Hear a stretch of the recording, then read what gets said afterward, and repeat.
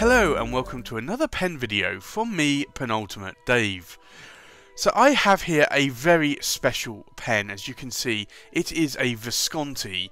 This is special because this is a pen that I have been lusting after for two years now. I believe that this pen wasn't going to be available brand new and Marco at Novelli set himself a very high challenge for 2019 to go and get one for me. And I think I didn't set him a challenge high enough because he came back and fulfilled the challenge pretty darn quickly. So let me unbox this pen. This is the most heaviest Visconti box that I currently own. And I own a number of very, very heavy Visconti boxes, as I'm sure you can tell. So it comes in this lovely felt-like drawstring bag, and I've had some like this before, but not in this colour. Uh, it says Visconti here, the writing Renaissance. Let me remove the drawstring bag, and you will see why this is so special. Look at that box. So this box has a 2D palindrome on it. You can see here. And I'll go more into this in the full review of this video. This is just a quick unboxing, so I'm not going to go in and, and ink the pen up, do a writing sample, and do everything that I normally would do in a full unboxing review. But I wanted to show you this pen because it is a very, very special pen. Now this is a very solid, heavy box and it has uh, what is effectively granite or stone here, uh, a stone plaque, and this really is lovely. But let me show you what's really really inside this box. There you go. This is one of the Templar pens, and there's a number of Templar pens uh, from Visconti. Uh, this is the Jacques de Molay, and Jacques de Molay was the last Templar in existence, and sadly he was burned on the stake. Now, this comes with a number of things here, so let me just remove the shelf. It comes with the warranty card and a guarantee. But most importantly, it comes with the pen. And it comes with this lovely sword and dagger and also a ring as well. So, I'm going to do a number of things here. I'm going to show you the ring first. And this is the lovely ring.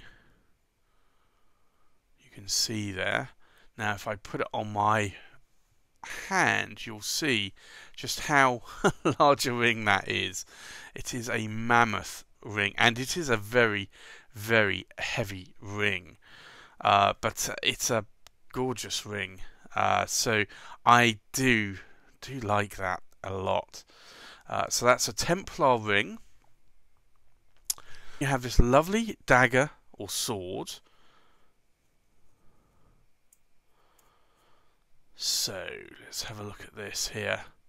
And it's really more of a letter opener, but that is it's actually quite sharp. But look at the, the detail on that sword. And that is absolutely stunning. And I have other letter openers and swords like this in my collection uh, but this is certainly uh, one that uh, I will be cherishing because it came with the pen itself.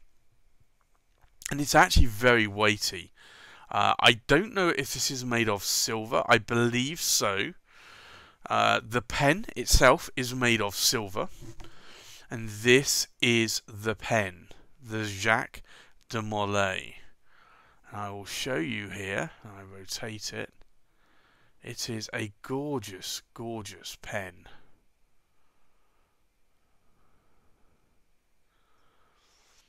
Lovely, lovely, stunning pen. It's very weighty and it is a PowerVac filling system. You have the Visconti finial here and then you have here the limited edition number of the pen but what I really do love about this is this lovely, lovely silverwork material that's that's going on here, and this kind of reminds me of my Camelot pen that I have. But as I said, this is a PowerVac filling system. However, you unscrew the filling knob here, and that is the filling knob that you pull out. And it's not inked, but you can see there how exquisite this is. So this really is a special pen. And you can see why that I really wanted to get this pen. It's a pen that I have been lusting after for a couple of years. I have had a number of offers of similar Templar pens. There's a number of pens uh, in the Templar series from Visconti. Some of them are more plain on the body and the cap, so you don't get all this chainmail and sword-like effect going on here.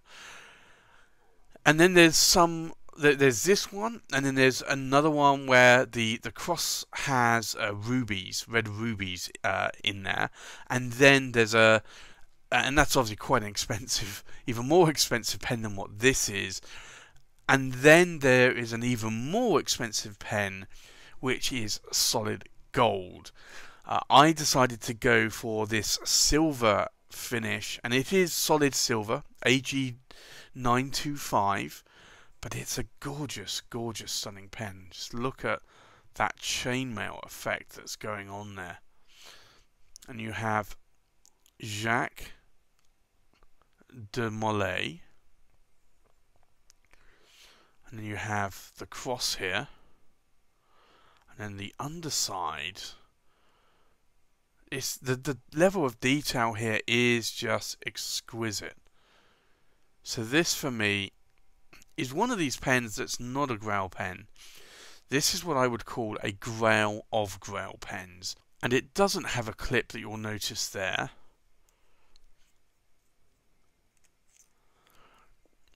and it comes with a 23 carat palladium nib and I went with a medium nib on this one you can even see the the silver decorations around here at the base of the section as well uh, it's an ivory color section and end cap and also feed as well. And this really is a special pen for me.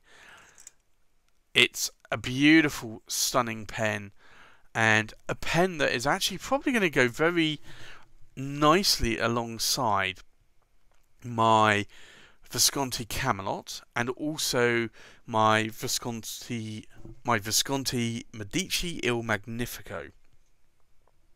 And they are two very special pens in my collection as well, and pens that I would almost call Grail of Grails, but not quite.